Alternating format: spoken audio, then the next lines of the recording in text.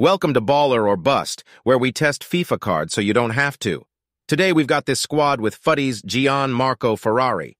We acquired the supercar for free via objectives. Bro got a plus 49 pace upgrade because his name is Ferrari. Lengthy with 99 pace, a rat's dream. You can feel the speed in game, catches literally everyone and anyone.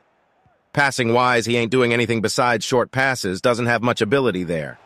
Two-star skills with low agility and balance, this guy is not built for dribbling either. Can sort of escape pressure just purely off of his pace. Sentinel Chem style to boost defending and physicality big time because there's nothing else worth boosting on this card. Might as well make him a defensive beast. U7BUY code ZADE 6% off.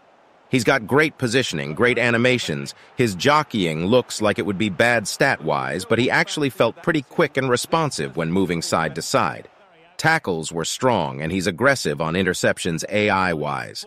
Physicality gets a big boost from that chem style, gives him really nice strength and aggression.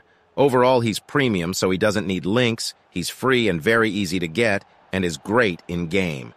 The 99 pace really does a lot for this card, has good work rates, great defensive ability, and good physicality.